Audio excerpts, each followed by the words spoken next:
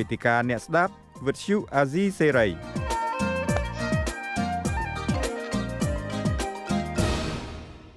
បាទលោកនាងកញ្ញាជាទីមេត្រីដោយលោកនាងបានជ្រាបហើយការកាត់ទោសលោករងឈុនហើយនិងសកម្មជនពីររូបទៀតត្រូវទទួលរងការថ្កោលទោសពីមជ្ឈដ្ឋានជាតិផង ពីមជ្ឈដ្ឋានអន្តរជាតិផងអង្គការអន្តរជាតិមួយចំនួនរហូតដល់អំពាវនាវឲ្យម្ចាស់ជំនួយអន្តរជាតិផ្ដាច់ជំនួយដល់កម្ពុជាផង ទោះបីជាមានការថ្កោលទោសបែបណាក៏ដោយចុះក្រមអ្នកដឹកនាំកម្ពុជាហាក់ដូចជាមិនបន្ធូរដៃបន្តិចណាសោះឡើយក្នុងការបង្ក្រាបបំបិតមាត់ពលរដ្ឋទោះជារាល់ការបង្ក្រាបបំបិតមាត់ពលរដ្ឋម្ដងម្ដង ពួកគាត់ប្រឈមមុខនឹងការថ្កោលទោសហើយនឹងប្រឈមមុខនឹងការបដិជំនួយយ៉ាងណាក៏ដោយចុះតើពួកគាត់ចំណេញអ្វីបើសិនជា ពួកគាត់ប្រឈមនៅរឿងរ៉ាវបែបនេះរាល់ការធ្វើទុកបុកម្នេញដល់ប្រជាពលរដ្ឋម្ដងម្ដងចូលរួមឆ្លើយនៅសំណួរនេះខ្ញុំបាទមានវាគ្មិនកិត្តិយសមួយរូបគឺប្រដេជគុណបុត្របន្ទិញខ្ញុំកណាសូមក្រាបថ្វាយបង្គំប្រគុណម្ចាស់ពូចន្ទរពូញោមជុនច័ន្ទបុត្រព្រមទាំងសហការីអសីសេរីនិងអ្នកទេសនាការផ្សាយរបស់វិទ្យុអសីសេរីផងចន្ទរពូ ប្រគុណម្ចាស់ខ្ញុំកណាចង់ឲ្យប្រគុណម្ចាស់ដែលប្រគុណម្ចាស់ធ្លាប់តែជាអ្នកតាមដានបញ្ហាសង្គមជាពិសេសតាមដានទង្វើរបស់លោកនាយករដ្ឋមន្ត្រីហ៊ុនសែនឬក៏ខ្ញុំកណាធ្លាប់តែចំអន់លេងថាញោមរដ្ឋមន្ត្រីនាយករដ្ឋមន្ត្រីរបស់ប្រគុណម្ចាស់នឹងអឺតើពួកគាត់ចំណេញអី ជាពិសេសលោកនាយករដ្ឋមន្ត្រីចំណេញអីហេតុអីបានជាលោកមិនបន្ធូរដៃបន្តិចណាសោះឡើយប្រគុណម្ចាស់អឺតាមដានលោកអ្នកស្ដាប់បានដឹងរួចមកហើយថាការដែលរំលាយប្រជាធិបតេយ្យការដែលបំផ្លាញគណៈបកសង្គ្រោះជាតិ ការដែលចាប់មេគណៈបកសង្គ្រោះជាតិឃុំឃាំងការដែលបណ្ដេញយាយីសមាជិកគណៈបកប្រឆាំងមួយចំនួនដែលធ្វើឲ្យពួកគាត់ស្វែងរកសេរីភាពនៅក្រៅប្រទេសអីជាដើមនេះរងការធ្វើទុករងការដាក់ទណ្ឌកម្មពី ពិភពលោកទៅហើយមានការព្យួរប្រព័ន្ធអនុគ្រោះពន្ធជាដើម ការធ្វើច្បាប់ដើម្បីដាក់ទណ្ឌកម្មដល់មេដឹកនាំមាន Magnitsky Act នៅសហរដ្ឋអាមេរិកនេះហើយឥឡូវនេះយើងដឹងដំណឹងថានៅឯប្រទេសអូស្ត្រាលីហ្នឹងក៏គេត្រៀមកំពុងតែធ្វើច្បាប់មួយ ស្តៀងគ្នានឹង Magnitsky Act នឹងដែរគឺមានន័យថាអាចនឹងបង្កកទ្រព្យសម្បត្តិអ្នកទាំងឡាយណាដែលចូលរួមបំផ្លាញប្រជាធិបតេយ្យចូលរួមធ្វើអំពើពុករលួយឬមួយក៏បំបិតសិទ្ធិសេរីភាពធ្វើទុកបុកម្នេញប្រជាពលរដ្ឋអីជាដើមដូច្នេះ ឲ្យតែគាត់ធ្វើអំពើបែបនេះខ្ញុំចង់ខ្ញុំកណាចង់មានន័យថាពីខាងរដ្ឋាភិបាលឲ្យតែធ្វើអំពើបែបនឹងម្ដងម្ដងគឺថារងការប្រឈមមុខនឹងការថ្កោលទោសខូចគេឈ្មោះលើឆាកអន្តរជាតិផងផ្ដាច់ជំនួយដល់ប្រទេសកម្ពុជាផងក៏ប៉ុន្តែពួកគាត់អត់បទូដៃសោះតើពួកគាត់ចំណេញអីប្រគុណម្ចាស់ដែលគាត់នៅតែធ្វើបែបនេះបើយើងឃើញតែខាតមុខមាត់ខ្លួនឯងហើយខាតដល់ប្រយោជន៍ជាតិបែបនេះប្រគុណម្ចាស់ជំរាបពរញោមអឺបើយើង និយាយពីពាក្យថាចំណេញយើងនឹងនឹកដល់រឿងខាតព្រោះខាតនឹងចំណេញជាគូគ្នាហើយបើយើងមើលពីផលចំណេញអត់មានមកដល់ជាតិទេ ផលចំណេញវាបានដល់បុគ្គលអ្នកប្រព្រឹត្តនឹងតែម្ដងហើយបុគ្គលអ្នកដែលប្រព្រឹត្តនឹងគឺបុគ្គលដែលមានអំណាចខ្ពស់ផុតលេខគឺហ៊ុនសែននឹងតែម្ដងញាតិញោមបានជ្រាបស្រាប់ហើយហ៊ុនសែនជាមនុស្សខ្ពស់ផុតលេខទាំងផ្កាយខ្ពស់ផុតលេខទាំងអំណាចខ្ពស់ផុតលេខទាំងលុយ ហើយបើរឿងដែលខ្ពស់ផុតលេខដែលគេស្គាល់ល្បីច្រើនជាងគេផុតខាងអំពើពុករលួយនិងផ្ដាច់ការដូច្នេះបើយើងគិតថាគិតចំណេញអីគឺចំណេញដល់អំណាចផ្ដាច់ការនិងអំណាចគ្រួសារហើយការធ្វើយ៉ាងដូចនោះហ៊ុនសែនអត់បានក្រឡេកមើលពីរឿងខាតបងរបស់ជាតិទេហើយសំណួរសួរថាបើគិតដឹងថាគិតធ្វើទៅជាតិខាតមិនបានគិតនៅតែធ្វើគិតនៅតែធ្វើដោយសារមានហេតុពីរទី1 គិតចំណេញអំណាចទី2គិតញៀននឹងការធ្វើទង្វើអាក្រក់វាជាទូទៅបើយើងមើលអំពីគោលការណ៍ពុទ្ធសាសនាវិញ ការបណ្ដុះពូជព្រោះបណ្ដុះពូជស្អប់ខ្ពើមគឺវានៅតែស្អប់ខ្ពើមបណ្ដុះពូជផ្ដាច់ការវាផ្ដាច់ការព្រោះកន្លែងការបណ្ដុះគ្រាប់ពូជនេះក្នុងគាថាពុទ្ធសាសនាពុទ្ធលោកបានសម្ដែងច្បាស់ណាស់ទោះជាពុទ្ធព្រះនិព្វាន2565ឆ្នាំប៉ុន្តែពុទ្ធវចនៈនៅតែថ្មី នៅតែមានន័យសម្រាប់ពុទ្ធសាសនិកយកមកពិចារណាត្រង់ព្រះអង្គលោកសម្ដែងកម្មសកោមហិកម្មទាយេទូកម្មពន្ធុកម្មបដិសារណោកម្មយោនិកម្មបដិសារណោអញ្ចឹងអ្នកដែលមានបញ្ញាគេពិចារណាឃើញថាអាត្មាអញមានកម្មជាទីពឹងមានកម្មជាមរតកមានកម្មជាផៅពួងហើយបើធ្វើកម្មណានឹងបាននៅកម្មនោះវិញហើយហ៊ុនសែនក៏ធ្វើកម្មអាក្រក់ដូច្នេះការបានមកវិញវាអត់មានអីល្អទេបានមកវិញគឺទនកម្មណែ កម្មនៃការរំលាយគណៈបកសង្គ្រោះជាតិផលនៃការប្រព្រឹត្តកម្មនោះគេហៅថាវិបាកកម្មផលដែលបានមកពីការរំលាយឆន្ទៈរាជបានមកវិញគឺផ្ដាច់ប្រពន្ធអនុគ្រោះពន្ធបានមកវិញគឺទនកម្មជុំវិញមកពិភពលោកបានមកវិញគឺបាត់បង់ GSP ហើយអ្វីដែលវាបានទៅលើហ៊ុនសែនបើយើងមើលឃើញថាហ៊ុនសែនបានអំណាចប៉ុន្តែបើនិយាយពីអំណាចរបស់ហ៊ុនសែនគេស្គាល់គ្រប់គ្នាថាបានមកដោយការ លួចប្លន់ឬក៏ថាបានមកដោយមិនមែនអំពើសុចរិតហើយសេចក្តីថ្លែងការណ៍ថ្កោលទោសរបស់ពិភពលោកទាំងមូលគេថាការកាន់អំណាចរបស់លោកហ៊ុនសែន35 36ឆ្នាំដែលពេញដៃរឿបតង់អាមិនទាន់ពេញដៃ42ឆ្នាំ គឺជាការបានមកដោយមិនសមស្របតាមគោលការណ៍ប្រជាធិបតេយ្យហើយសេចក្តីថ្លែងការណ៍របស់លោក Steve Chabot ហើយនិងលោក Alan Lowenthal ថ្មីថ្មីកន្លងទៅនេះក៏គេបានបញ្ជាក់អញ្ចឹងដែរថាហ៊ុនសែនបានអំណាចមែនប៉ុន្តែមិនមែនបានមកដោយគោលការណ៍ប្រជាធិបតេយ្យទេ គឺបានមកតាមរបៀបទុច្ចរិតបពពួករបស់គាត់នឹងជួយរៀបចំល្បិចទុច្ចរិតដើម្បីឲ្យហ៊ុនសែនបានឡើងកាន់អំណាចអាត្មាចង់ងាកទៅពីរឿងជាតិខាតវិញព្រោះយើងនិយាយពីហ៊ុនសែនចំណេញនិយាយពីហ៊ុនសែនខូចប៉ុន្តែជាតិវាប៉ះពិលជាតិខ្មែរយើងក្រមការដឹកនាំរបស់ បរោះមានផ្កាយផុតលេខអាក្រក់ក៏អស់លេខដាក់ដែរបើនិយាយពីអាក្រក់យើងដូចរោលេខដាក់ឲ្យកើតអត់បានព្រោះគេដាក់ថាអាក្រក់ផុតលេខហើយវាអឺបើយើងដាក់អាក្រក់ផុតលេខទៅរោដាក់លេខនេះវាអត់មានព្រោះវាអត់មានលេខដាក់ណាវាវាហ៊ូអញ្ចឹងបានថាចិនគេចេះដាក់បែបត្របកចិនគេដាក់ថាពេញច្រាស់ទឹះ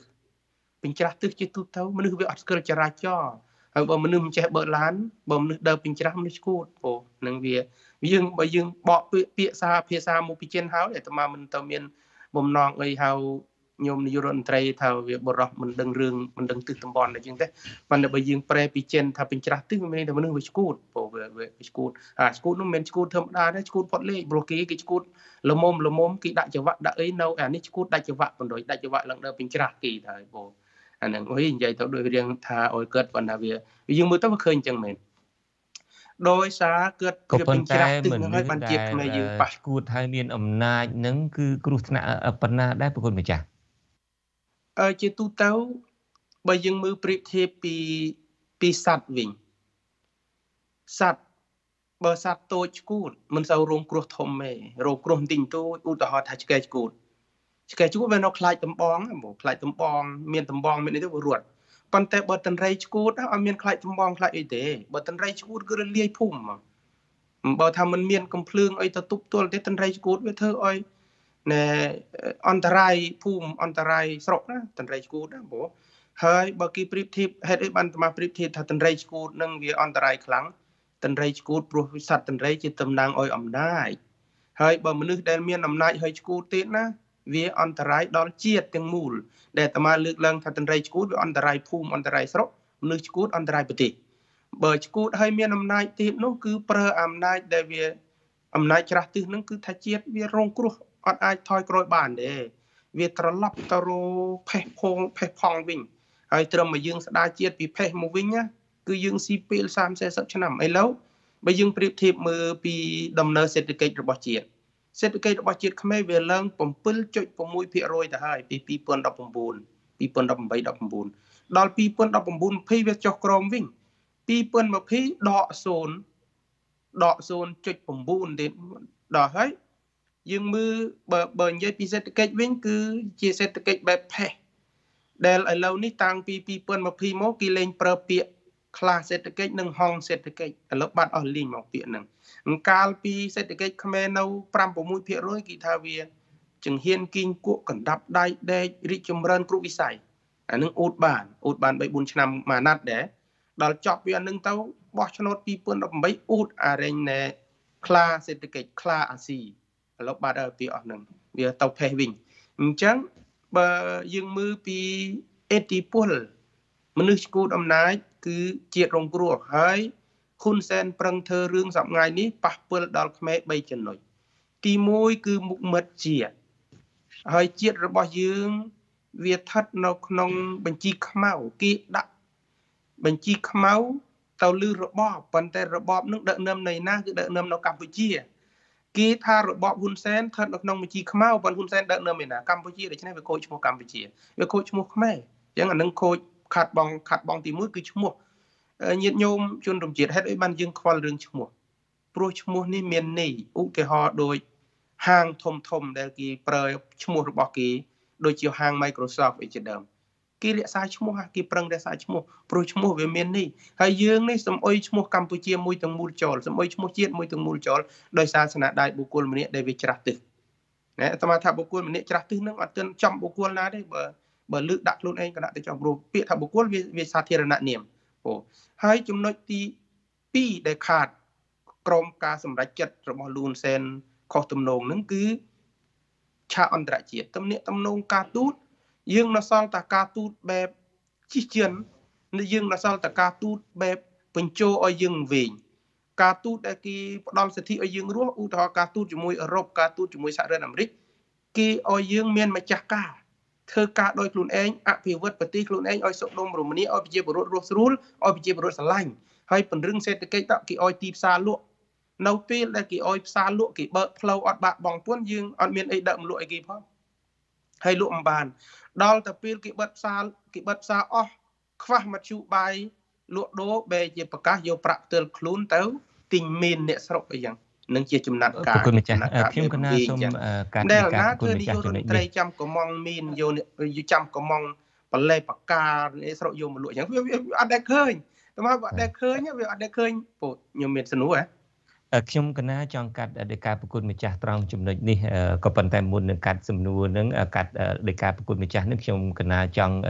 ជម្រាបជូនលោកអ្នកស្ដាប់ថាបើសិនជាមានមតិយោបល់លោកនាងកញ្ញាមានមតិយោបល់ឬមួយក៏មានសំណួរសូមអញ្ជើញដាក់លេខទូរស័ព្ទនៅក្នុង comment ក្រុមការងាររបស់យើងនឹងហៅលោកនាងដើម្បីមកចូលរួមហើយតាមពិតនឹងយើងចង់ឮពីមតិរបស់ប្រជាពលរដ្ឋដែរថាតើដោយសំណួររបស់ខ្ញុំបាទខ្ញុំកណាតាំងទៅប្រគុណម្ចាស់អញ្ចឹងនៅពេលដែលធ្វើទុកបុកម្នេញប្រជាពលរដ្ឋនឹងរងការរិះគន់នឹងសម្បើមណាស់រងការដាក់គំនាបសេដ្ឋកិច្ចអីផងក៏ប៉ុន្តែនៅតែមិនបធូរបន្ថយជិតសំណួរនឹងតើតើគាត់ចំណេញអីពីចំណុចហ្នឹងឥឡូវនឹងងាកដល់ប្រគុណម្ចាស់វិញ តែប្រគុណម្ចាស់ថាមានតែការថាការដែលក្រមលោកហ៊ុនសែនដៃជើងបពពួកលោកហ៊ុនសែនធ្វើនឹងគឺថាចំណេញអំណាចរបស់ខ្លួនតើឧទាហរណ៍ថាការជជែកស្ដែងឡើងវិញ ការចាប់លោករងជនដាក់គុក ឬមួយក៏ចាប់សកម្មជនបរិស្ថានសកម្មជន សង្គមនានាដាក់គុកនឹងតើវាចំណេញបែបណាដល់ពួកគាត់ចំណេញអំណាចគ្រួសារតកូលហ៊ុននឹងបែបណាការដែលចាប់រងជនជាឧទាហរណ៍ជាក់ស្ដែងតែម្ដងចំណេញបែបណាប្រគុណម្ចាស់មានចំណេញ3ចំណុចប៉ុន្តែពាក្យថាចំណេញនេះតមាបញ្ជាក់សារថ្មីអត់បានទៅជាតិខ្មែរទេជាតិខ្មែរខាត3ចំណុចតមានិយាយអស់ពីនៅមួយអញ្ចឹងហ៊ុនសែនចំណេញ3ចំណុចចំណេញទី1គឺបំបិតសំលេង ធ្វើឲ្យណែប្រជារដ្ឋប្រជាពលរដ្ឋខ្មែរហ្នឹងនិយាយតែពីរឿងល្អរបស់ហ៊ុនសែនហ៊ុនសែនចំណេញទី1គឺប្រកាសជាបំបត្តិបានទេប្រគុណម្ចាស់នៅពេលដែលមានសម័យ Facebook នេះអ្នកណាក៏នៅតែអាចធ្វើបានបើមិនធ្វើបានពីក្នុងប្រទេសទេធ្វើបានពីខាងក្រៅ ច្រើនពុកមានន័យថាលោកនាយករដ្ឋមន្ត្រីហ៊ុនសែននឹងមិនបានយល់ពីស្ថានភាពពីបច្ចេកវិទ្យាចុងក្រោយនេះទេបំបត្តិមិនក៏មិនបានដែលយើងឃើញហើយការបិទអាស៊ីសេរីការបិទវិទ្យុការបិទនេះបិទនោះយើងនៅតែផ្សាយបានដដែលដូច្នេះវាជារឿងមួយដែលមិនអាចធ្វើទៅកើតទេហេតុអីក៏គាត់គិតថាបំបត្តិនឹងចំណេញទៅគាត់បានចំណិនពុតនេះបើយើងមើលពីគោលការណ៍ពុទ្ធសាសនាបុគ្គលពីលមើលមិនឃើញ ផលវិបាកទេតែមកលើកជាសាច់បលែងបន្តិចប៉ុនមិនប្រេទាំងអស់ទេរៀងវិញលោកថាកតវាអ្នកកុសលੰកម្មੰកតវាណាកុសលੰពុរេសុកតឹងទុកតឹងហនតឹងសពីលោយោនបសតិប្រែមកវិញថាបុគ្គលដែលមិនបានដឹងដែលបានធ្វើកម្មទុកមុនហើយបើធ្វើកម្មជាកុសលវាបឺនឡើងឡើងទៅកាន់សុគតិភពបើធ្វើកម្មជាអកុសលកតវាណាកុសលੰបុរេទុកតឹង អ្នកណាដែលធ្វើអំពើអាក្រក់នៅក្នុងពេលមុនវាតែងតែប្រកាសទៅកាន់ទុគតិភព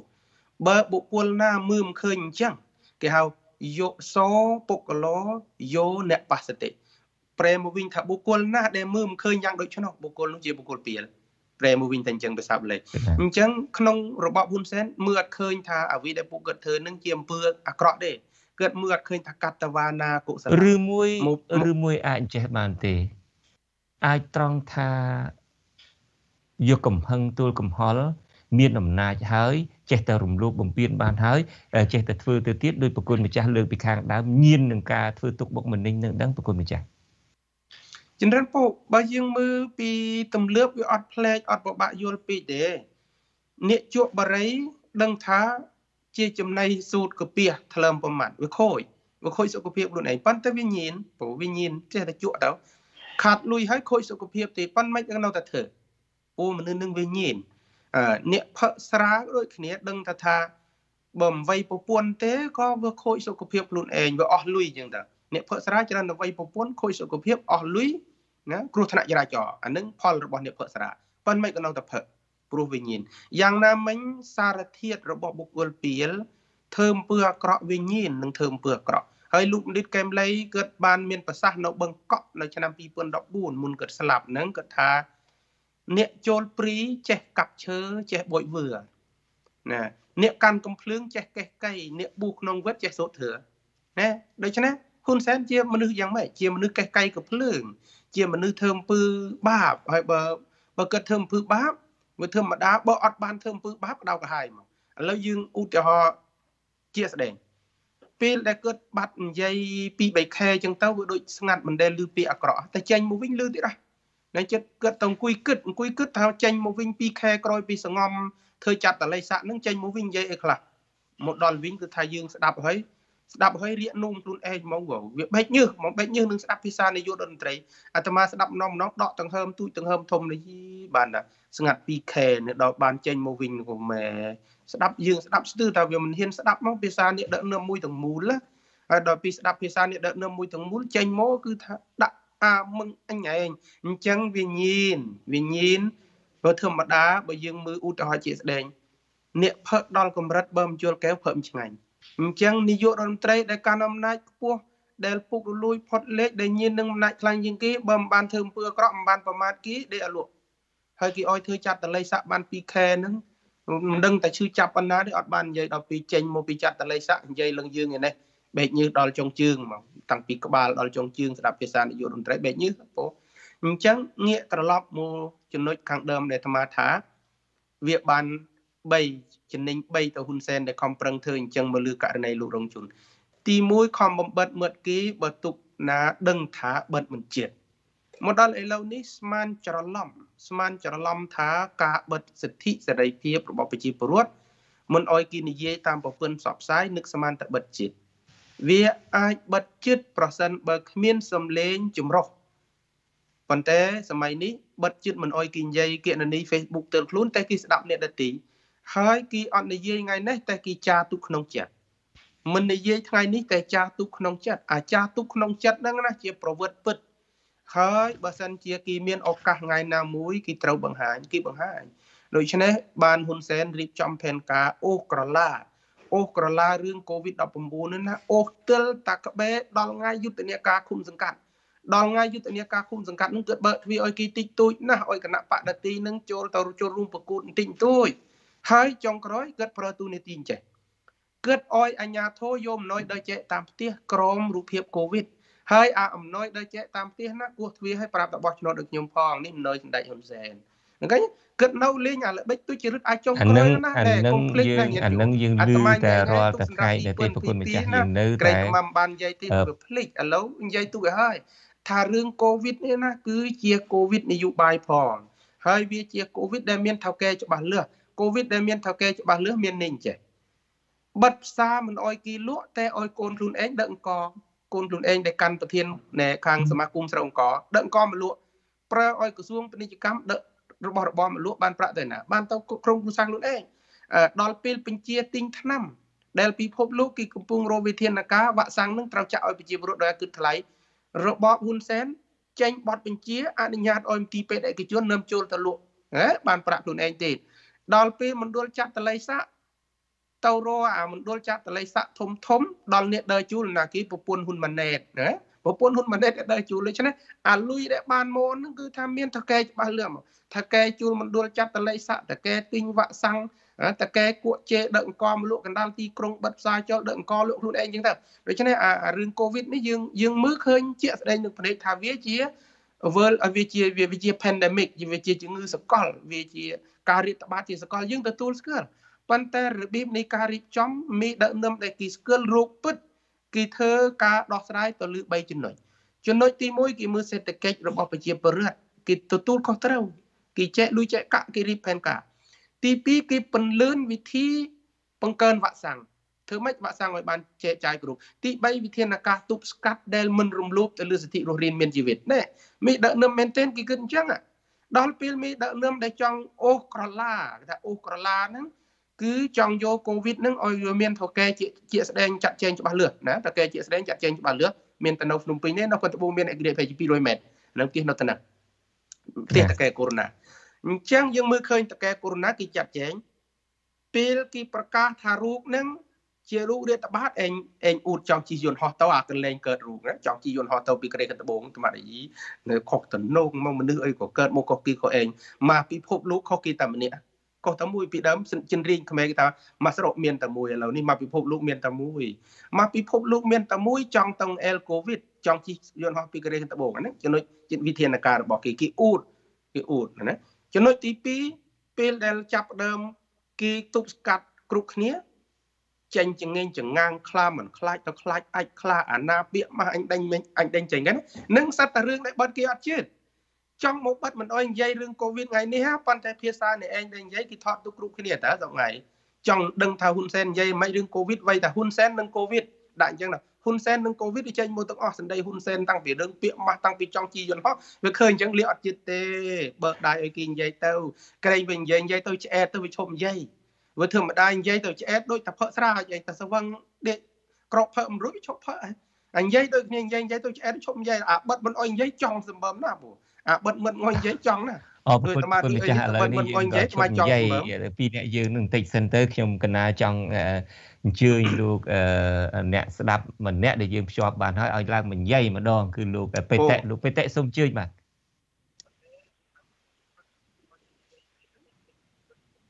លោកបេតិខ្ញុំមិនទាន់បានលឺនៅឡើយទេ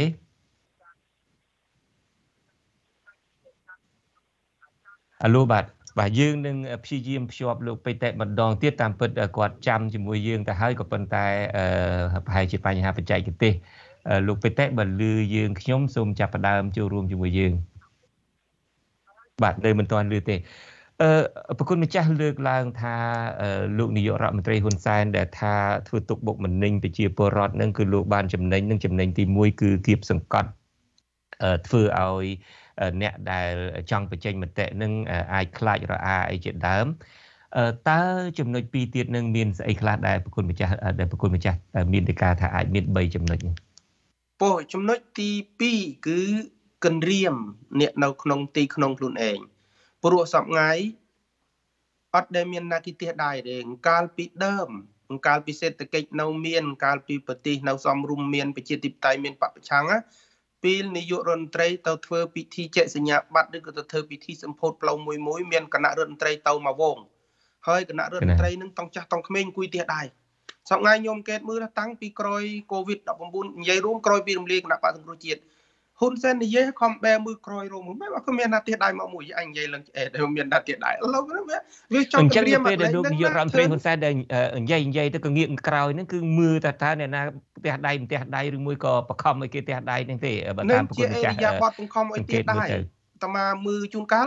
ងាកទៅក្រោយពីជុំមកធ្វើជាទាញទឹកមកផើប្រឡប់ អាងាកទៅងាកសន្លឹងឲ្យគេទៀះដៃបើដល់មានអ្នកតាអ្នកទៀះដៃនឹងសន្លត់គីសន្លត់កើតផឹកទឹកប្រឡប់ចាំមើលដល់ចាំមើលតាមវីដេអូអាត្មាអង្គុយមើលអានឹងតាមវិភាគឃើញបើយី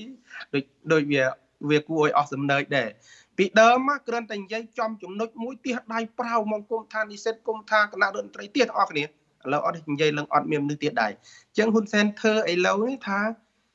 យើងអត់អុយលិចម៉ូទេហើយភាសានឹងមានអាត្មានិយាយហ៊ុនសែននិយាយខ្លួនឯងថាលិចមួយវៃមួយ ចេញមួយវ័យមួយអាចេញមួយវ័យមួយណាមិនមែនវ័យតពុគណៈបពប្រឆាំងមិនមែនវ័យតពុចលនាសង្គមទេក្នុងទីក្នុងបកខ្លួនឯងមានចេញមួយវ័យមួយដែរអ្នកដែលបំរើរបបខ្លួនឯងក៏ចេញមួយវ័យមួយឧទាហរណ៍ពិតញើកប៊ុនឆៃធ្វើជាចេញមុនបោះឆ្នោត2013ចាប់ដាក់គូសិនណាដាក់គូសិនណាហ្នឹងហើយកែគឹមយ៉ានធ្លាប់ចេញមុខប្រឆាំងជាមួយនឹងដេកជូ2008រឿងប្រាសាទព្រះវិហារ ដកអំណាចចូលដល់សូនកែគឹមយ៉ានពីថ្ងៃផ្ទេអំណាចត្រកទឹកភ្នែកមកតំណក់ត្មងអង្គុយមើលប្រគុណម្ចាស់ខ្ញុំកណាសូមកាត់ប្រគុណម្ចាស់ចំណុចនឹងតិចដែលហេតុថាយើងភ្ជាប់លោកបេតៈបានហើយខ្ញុំកណាចង់ឲ្យលោកបេតៈឡើងនិយាយវិញម្ដងលោកបេតៈសូមជួយបាទសូមក្រាបថ្លែងគុំគុំចាស់បុត្របន្តែព្រមទាំងជំរាបសួរទៅដល់គុំចាំបុត្រព្រមទាំងជំរាបសួរទៅដល់ប្រជាពលរដ្ឋទូទាំងព្រះរាជាណាចក្រកម្ពុជាបាទ បាទអរគុណលោកបាទសូមជឿបាទដែលជាបឋមខ្ញុំមានជាសំណួរហើយក៏ដូចជាមានមតិផ្ទាល់សម្រាប់គ្រូខ្ញុំខ្ញុំខ្ញុំមានជាជាប្រវត្តិអឺខ្ញុំចង់ទូទៅប្រគុណម្ចាស់បុត្របន្តែចង់សួរថា តើប្រទេសជាតិយើងសពថ្ងៃនេះបើការដឹកនាំសពថ្ងៃនេះវាប្រកបទៅដោយអំពើពុករលួយនៅក្នុងសង្គមជាច្រើនព្រមទាំងបង្កលក្ខណៈផ្សេងៗធ្វើឲ្យប្រជាពលរដ្ឋ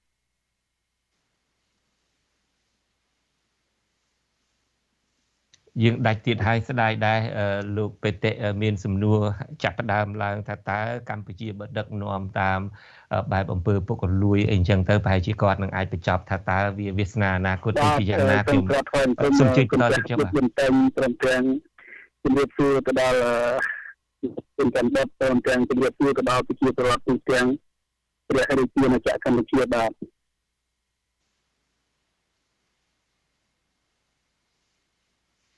បាទដែលជាបឋម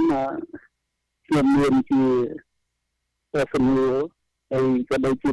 មានមតិផ្ទាល់សម្រាប់គ្រូខ្ញុំខ្ញុំខ្ញុំមានជាជាប្រវត្តិអឺខ្ញុំចង់ទូទៅប្រគុណម្ចាស់បុត្របន្តែចង់សួរថាតើប្រទេសជាតិយើងសពថ្ងៃនេះបើការដឹកនាំ សពថ្ងៃនេះវាប្រកបទៅដោយអំពើពុករលួយនៅក្នុងសង្គមជាច្រើនព្រមទាំងបង្កលក្ខណៈផ្សេងៗឲ្យប្រជាពលរដ្ឋបាទយើងមានបញ្ហាបច្ចេកទេសប្រគុណម្ចាស់ប្រហែលជាអាចកាត់យល់សំណួររបស់គាត់បានហើយសូមប្រគុណម្ចាស់អរតនីឆ្លើយសំណួរតែម្ដងពោអឺបើសិនជាការដឹកនាំដែលនៅតែ ប្រកាន់យកកំហឹងទើលខ្លួនយកមកដោះស្រាយហើយយកលុយហូបប៉ៅខ្លួនឯងមកដោះស្រាយនឹងវិបត្តិសេដ្ឋកិច្ចជាសកលនេះ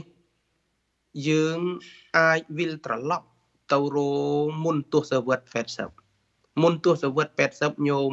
ដែលកើតទឿនចំណិននោះជ្រាបហើយថាគ្រិនតាឡានពីភ្នំពេញទៅសៀមរាបប្លន់គ្នាពូណាប្លន់គ្នារស់ ហើយនៅក្នុងសង្គមកម្ពុជាបើសេដ្ឋកិច្ចដល់សូន្យឥឡូវនាយករដ្ឋមន្ត្រីនៅមានលុយដែលសល់ពីលោកអគាររដ្ឋលុយសល់បានពីសុំអន្តរជាតិបាននឹងនៅទៅទិញមីនបានដោះស្រាយកើតទិញផ្លែឈើទិញទិញកយើងឃើញថាវិធានការពីរនេះអត់ផ្លេចទេញោមបើញោមចំណាំបាន ឆ្នាំ2016 17ហ្នឹងស្រូវចុះថោអ្នកបាត់ដំបងដឹកស្រូវទៅចាក់តាមផ្លូវ ហើយនាយករដ្ឋមន្ត្រីប្រកាសអុយអុញ៉ានិងមន្ត្រីមួយចំនួនធំជួយទិញស្រូវអ្នកបាត់ដំបងចំណិនហ្នឹងហើយយើងឃើញថាជួយទិញព្រូព្រូបានភេជា4 10ថ្ងៃទៅក៏ស្ងាត់ទៅបាត់អស់លីងអញ្ចឹងទៅហើយអត់មានយន្តការថាតើធ្វើម៉េចទប់ស្កាត់កុំអុយស្រូវអ្នកបាត់ដំបងហ្នឹងចុះថោតទៅទៀតស្រូវនេះដែលបង្កើតស្រូវទូទាំងប្រទេសផលិតស្រូវទូទាំងប្រទេសនឹងជួបវិបត្តិតទៀតអត់មានយន្តការទេអត់មានទេហើយដល់ឡូវនេះអ្នកបៃលិនរឿងលក់តងែនលក់មីនមិនបាន មាននាយករដ្ឋមន្ត្រី ឥឡូវយើងដាក់នាយករដ្ឋមន្ត្រីមីនតោះបងនាយករដ្ឋមន្ត្រីតងែនក៏បានដែរព្រោះនាយករដ្ឋមន្ត្រីពីមុនគេថានាយករដ្ឋមន្ត្រី e government e prime minister ណាគឺធ្លាប់មានឈ្មោះអស់ហើយតែឈ្មោះហ្នឹងវាមានគ្រប់ហើយប៉ុន្តែឥឡូវនេះនៅនាយករដ្ឋមន្ត្រីតងែន អញ្ចឹងយើងដាក់នាយករដ្ឋមន្ត្រីតងែនដោយសារយកប្រាក់ទៅខ្លួនម្ចាស់ខ្ញុំកណាសូមផ្អាកត្រង់ចំណុចនាយករដ្ឋមន្ត្រីតងែននឹងតិចសិនមានសំណួរគេដាក់មកនៅលើ Facebook មកហើយតាក់ទងដល់ទ្រឹស្ដីកម្មផលនឹងតែម្ដងប្រគុណម្ចាស់អ្នកដែលសួរនោះគាត់ឈ្មោះ Samody Joy គាត់សួរថាតើលោកហ៊ុនសែនខ្លួនគាត់ ផ្ទាល់អាចរងផលបែបណាដែរបើតាមទ្រឹស្ដីកម្មផលលោកហ៊ុនសែនប្រហែលជាតបថាអ្វីដែលគាត់ធ្វើនេះគឺដើម្បីសន្តិភាពតើប្រគុណម្ចាស់គិតយ៉ាងណាដែរចំពោះអាត្មាអាត្មាមើលមិនឃើញថាទង្វើរបស់ហ៊ុនសែនជាមេគាទៅរកសន្តិភាពទេបើមេគាទៅរកសន្តិភាពវាទល់តែចេញផល3នៅចំពោះមុខដែលយើងមើលឃើញផលទី1គឺប្រជាពលរដ្ឋមានភាពសុខដុមរមនា ហើយមានការសាមគ្គីគ្នាមិនបែកបាក់ផ្ទៃក្នុងជាតិណែផ្លូវទៅរកសន្តិភាពបើយើងមើលពីគាថាព្រះលោកថាសាមគ្គីសាមគ្គីហ្នឹងតពោសុខោហើយឲ្យវាមានសាមគ្គីគ្នារបស់ពួកក្រុមរបស់ប្រទេសជាតិមួយបានវាទៅរកសេចក្តីសុខសេចក្តីសុខនោះហើយជាសន្តិភាពសុខសន្តិភាពមេយើងប្រើពាក្យជាសុខសន្តិភាពប៉ុន្តែសម្ងា